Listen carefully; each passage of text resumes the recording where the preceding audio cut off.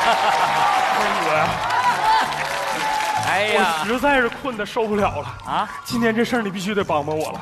哎呀，东东啊，我这不都带你到物业来了吗？这事儿我肯定给你管到底，放心。哎呀，哎钱总啊，啊，你看啊，以前咱们小区的人就说你这个人吧，啊长得有点歪。但是通过今天这个事儿，我才知道啊你这个人呐、啊还是非常的正啊，特别的善良，有爱心，乐于助人，还很温暖。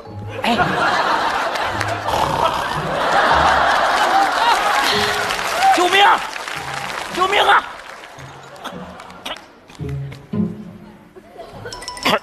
哎哎，你去去去去去，挪挪挪！下雨了，哎，这下什么雨了？你来，哎呀，你怎么回事？你说你说什么？我一个礼拜没睡好觉了。一个礼拜没睡觉，你受得了吗？我受不了啊啊所以我才拿这玩意儿砰砰锤自己嘛，就指着它提神呢。这玩意儿能提神吗？那你试试，咦咦哎，好好好好，是不是感觉特别好？哎，这东西不错不错不错。大哥，你看我这事儿，你这事儿我跟你说了没问题，赵刚子是我大姐夫，物业经理，这点事儿肯定给你处理了。那你这么说我就放心了。你拿走？我那么困呢？峰哥呀，哎，这个小木锤就送给你了啊！我这事儿你真得帮我上上放心，赵刚子，赵刚子，哎，哎，来来谁呀来来来，我哎呀，我这正忙着呢啊，我可没工夫。回来回来，忙什么忙？干啥瞎忙？小区出事儿了，出大事儿了。什么事儿啊？东东跟他说，哎呀，东东啊，赵经理啊。哎，你来了，好好，来来来来，坐坐坐坐坐坐。啊，怎么回事？赵经理啊，是啊。这么个事儿，我跟你说，我我一个礼拜都没睡好觉了，你看我都瘦成什么样了？哎，这个他真真真真是瘦了，东啊。东，你不能再瘦了，你瘦下去很危险啊。可！不是嘛！啊。关键是我一个礼拜不睡觉，天天晚上熬夜呀、哦一熬夜我白天我腰都疼。哎呦，这怎么回事啊？怎么不睡呢？我这么跟你说啊，啊这个我们家楼上吧，啊，他住了个贝多芬呐，一到晚上七点半呐，他就开始弹钢琴呐。你说他要弹个小夜曲吧，咱也就忍了。啊关键他弹的是狂想曲，噔噔嘡，噔噔嘡，哎，这像弹棉花。不光是弹，弹完就孬孬的唱啊，唱完他就痛快了。我们全小区的人呢，全都反胃了，那东西从胃里到嗓子眼儿里卡着呢。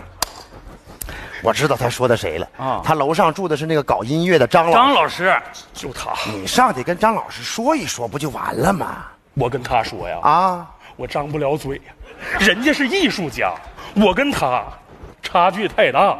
再说我一说话，人家直接就从气势上秒杀我。是不是啊哎？张老师是个有性格的人，对对，是你不用管啊，我来给你办这个事儿。你看是不是？没问题，你就放心吧。喂，哎，张老师啊，你好，我物业赵刚子，你现在有时间来趟物业吗？啊，行，好好好，我在这等着您啊。哎，赵经理啊，你可不能给他打电话呀，你千万不能让他过来呀。他要过来，那我就得走了。明白，东东，你你走吧，交给我就行了。行，这事儿我就交给你了啊。好了那我先去了。快去吧赵经理，谢谢了啊。好的二哥，再见再见，回去吧。是不是？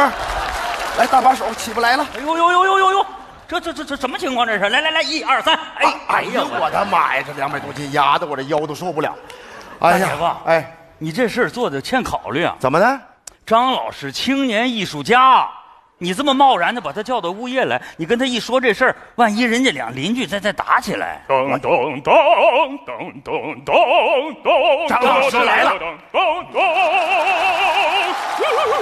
张老师啊，张老师你好，你好，你好，你好，你好，找我有事儿、啊？哎，对对，请坐，请坐，请坐。呃，让一下。啊、好好好，起来。坐坐坐坐坐坐，坐坐坐坐。哎，坐坐坐。哎，好嘞，好嘞，好嘞。呃，找我什么事儿？抓紧时间说，因为我一会儿还要回去练琴呢。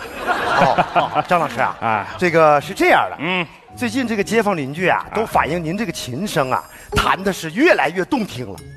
是吗？对，就这么说，咱们小区居民的音乐素养在不断的攀升啊！张老师哎，我有个问题想问问您，是吧？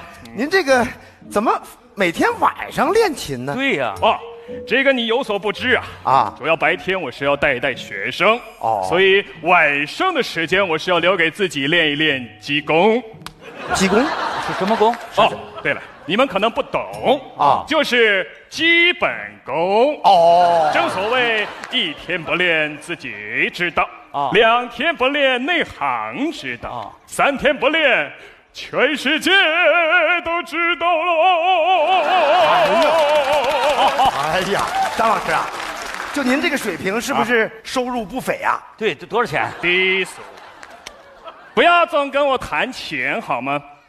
像我一般呢，都是在五星级酒店给国际友人以及我们的同胞们演奏。哦一般都是两百万块，而且演出结束之后，大家还意犹未尽呢。哎呀，张老师，太好了 啊我就想跟你商量这个事儿。哎说您看您晚上回来以后，能不能再加演一场？哎，什么意思？是这样的，嗯这个街坊邻居啊，都非常喜欢听您的演奏。哦他们商量了一下，只要是能听到您音儿的这几家，大家凑一凑，一场呢给您两，给您二十块。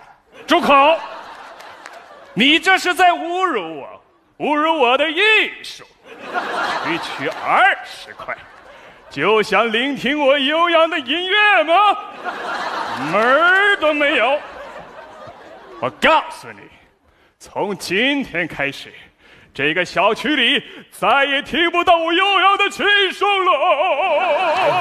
我不砍了，是张老师，您别太激动，要不再给您加一块。闭嘴！在我们艺术家面前，不要跟我谈钱好吗？是是是是 哎呦我的妈呀！大姐夫，哎太悬了！怎么的？你万一跟他说二十块钱一场，好的，你怎么办？没事儿，我就跟他说几家商量一下，二十出不起，只能给六块。我的天哪，你这太能骗了！哎，你你骗了他还相信呢？你看，那当然了这怎么能骗人呢？你说这你看，这必须得骗啊这叫善意的谎言啊你要直接跟他说，街坊邻居到物业来告他来了，啊兴许就产生抵触情绪了，那搞不好就闹起来了。不是，我就纳闷了啊我钱顺风，我觉得我够能骗的了，但不，我骗别人都不信，你怎么一骗就信呢？你当然不行了，啊我跟你不一样，啊！我是正义的代言人。大姐夫，哎，有个事儿我正好麻烦你呢。你说这不我们公司承办咱们这一片的歌手大赛吗？啊？咱小姨子小米粒儿也参加了。哎呀，我的妈呀！哎呀，小米粒儿唱的鬼哭狼嚎的，能行吗？那评委不都给我面子吗？你还进决赛了呢？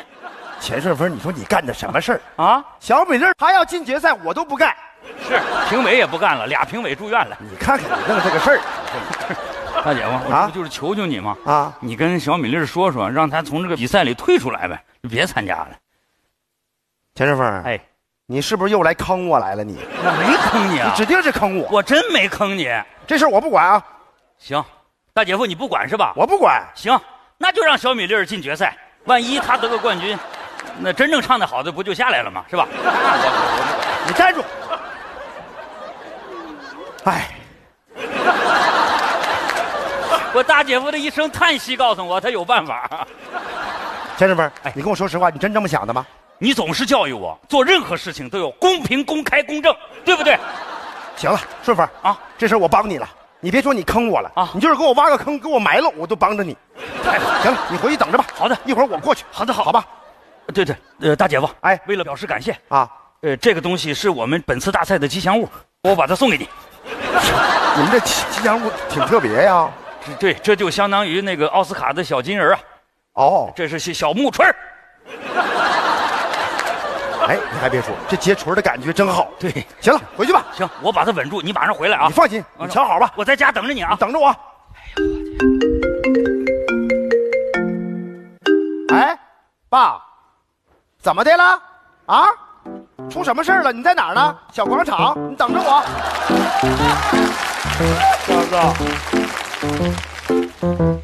刚子，我在这儿呢。爸，爸，怎么回事啊？啊我在这等你，跟你告个别，啊，刚子，哎，我舍不得你，不是，爸，你这怎么了？这是我要私奔，啊？离家出走，行李我都准备好了。不是，爸，你要私奔，你离家出走，这事儿妈知道吗？就是他把我逼走的，刚子，这么多年在这个家你是看见了，啊，我在你妈面前是怎么表现都不好使。我吃饭多吃两口吧，他就说我，本来你长得就像个猪，你还想吃成大象啊？我一寻思，人家这么说了，下顿咱就少吃两口吧。他又说我嫌他做的饭不好吃了，刚子，我算明白了，我在他面前怎么表现都不行了，哪怕我在他面前温顺的像个猫，他都得嫌我掉毛啊。妈，你说你跟我妈呀，这一辈子吵吵闹闹的，你坐着，我走了你别，你控制一下情感，来啊，你跟我说说，今天到底又为了啥呀就？今天早晨，我说老伴儿啊，你给我十块钱，我脖子疼，我要买两贴膏药。你猜他跟我说啥？啊，他不但说我装病，还说我骗他钱。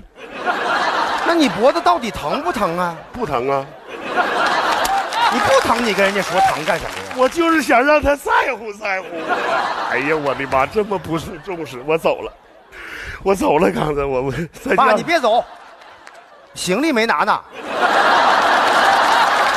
对，没有这行李我也走不远。来，拉倒吧，有这帮我背上，行李你也走不远，帮我背上来。还帮你背，就这玩意儿放兜里就完了，还弄个双肩背，你这爸，你干什么呀你？我跟你说啊，嗯你不知道，其实我妈心里边想的可是你，是吗？真的。你看今儿早上一起床就嗯嘱咐我说，你去上街给你爸买个小锤儿，让他捶捶脖子、捶捶肩，这就不疼了。你看，这是你妈让你给我买的啊？对呀、你拿的钱。不是我妈给的我的，五十块钱，这么说，你妈心里还有我，有五十，一出手就是五十。嗯。老伴儿啊，我误会你了，我对不起你。五十啊，你说你往我身上还投这么大的巨资，有这个必要吗？行，嗯，刚哎，那行了，我错了啊那那我走了。啊，你怎么还走呢？我你妈在那儿跳那个广场舞呢，啊我去给她赔礼道歉。哦哦我错了，是我没事找事儿。对，这就对了。哎哎，拿着行李哎啊，哎好吧哎，好。我跟你讲啊，爸，我跟你说个事儿啊啊，是这样的。啥事儿你回头见着我妈以后啊嗯，你可别问她这小锤儿的事儿，明白不？为啥呀？我妈她不是，她不是。啊，我明白了，明白。你妈要面子，对你放心，这事儿我保证不说行。不但这事儿不说，下半辈儿别说给我整的，他就给我整秃噜皮了，我啥都不说了。行，爸，你别说啊。啊，不说。喂，顺风啊，啊啊，我马上就回家，你放心吧，你先坚持住啊。好的，你放心，交给我。好的，好的。就这样被你征服，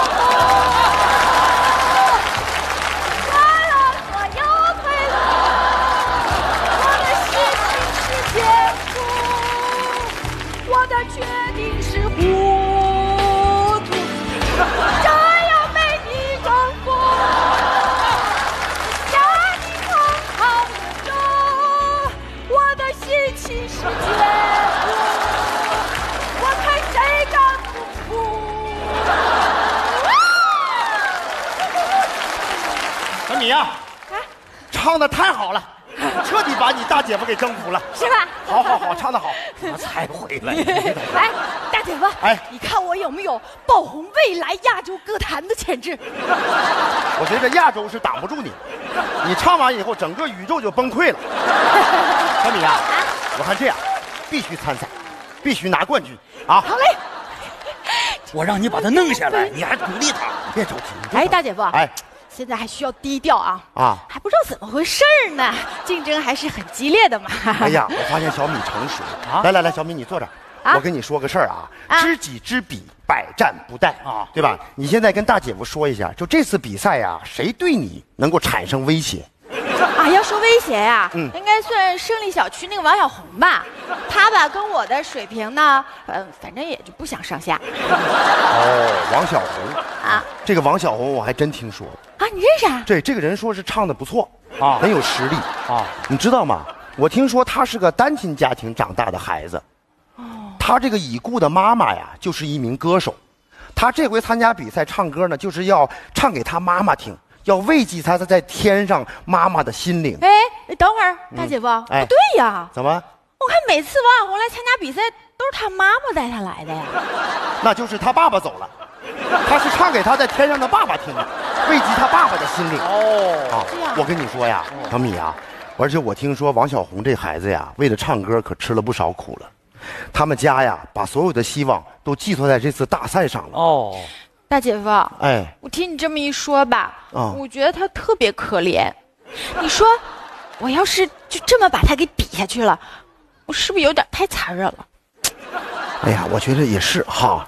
而且我跟你讲，王小红跟你确实没法比，她就会唱歌，她只有这一条道。对你就不一样了，是吧？你看，咱小美丽大学生是对吧？会服装设计，在咱们小区那是一流。头子，对吧？会模特，咱们小区也是一流，冠军还跟你二姐夫一起做买卖。虽然你没挣钱，你二姐夫都挣了钱了，是吧？啊，是这样啊。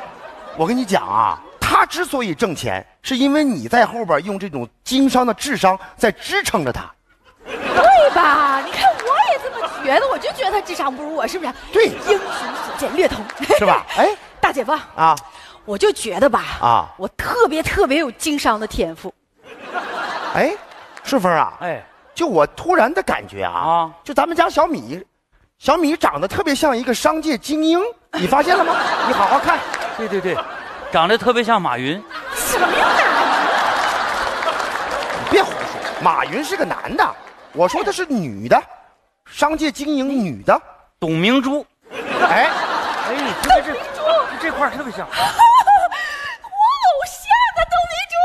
哦，大姐夫，哎。你说我能成为董明珠第二吗？你不会成为董明珠第二，啊，你就是你，啊，你是米粒儿猪。大姐夫，哎。你说我要经商，我我是不是真的能行啊？小米呀、一定行绝对能经商。对对对他是个经商奇才。是，你就试想啊，小米，在不久的将来，你成功了，你已经是大的企业家了。这个时候，各地电视台都在采访你，长枪短炮的对着你。在这个场面，突然有一个人说：“那个，你知道吗？啊，他过去呀、是个业余歌手，哦，啊，参加过一个比赛，是个社区的比赛，虽然拿了冠军啊但是那个投资方啊是他二姐夫，哟，那是走后门啊，挺磕碜的。但是你不在乎这个事儿，谁说我不在乎啊？我不能胜之不武啊！二姐夫，哎我决定了，啊，我要退赛。哎呀，你现在退赛，那评委那儿我不好做工作呀。不是二姐夫，哎呀，这这个太难了。顺风，哎，为了咱们小米经商的这个这个前途，你克服一下。对，二姐夫，你就为了我的荣誉去说服一下评委吧。我去你放心吧，我干就完了。好的，好嘞，谢谢二姐夫。从今以后，我就不再是小米粒儿了，我是米粒儿猪。哎呀，好，好，好，好，好，好。哎 呦，大姐夫，哎你可太能骗了，还米粒儿猪新品种啊！来来吧，别过来，嘿，说明白，这个东西是你妈给你五十块钱让你给我买的吗？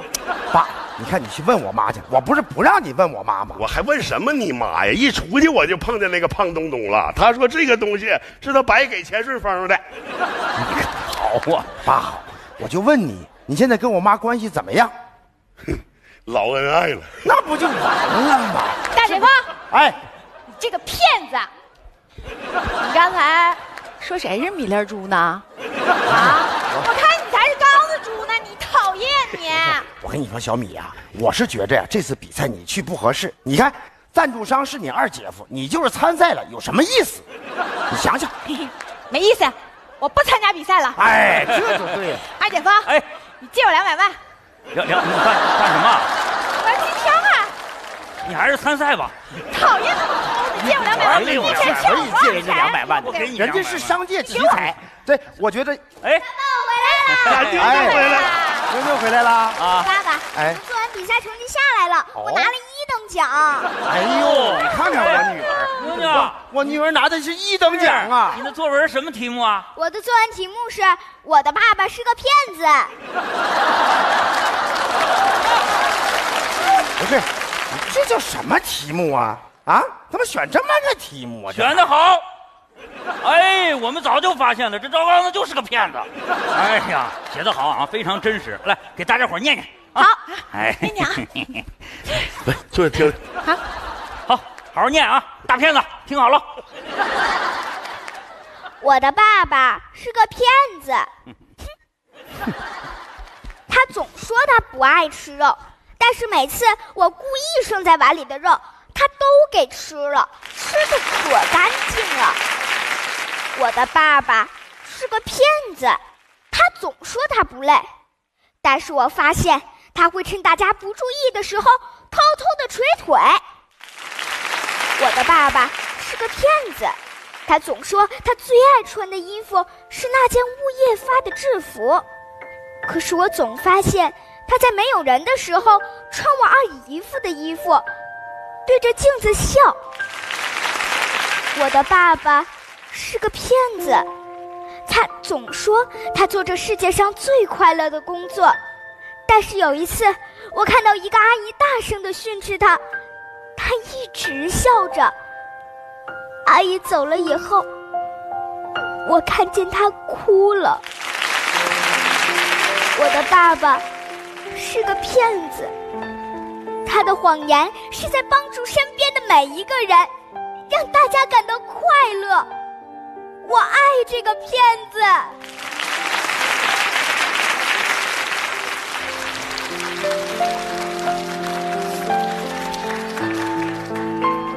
孩子，我发现你也是个骗子。你怎么在爸爸不知不觉中就突然长大了呢？爸爸爱你。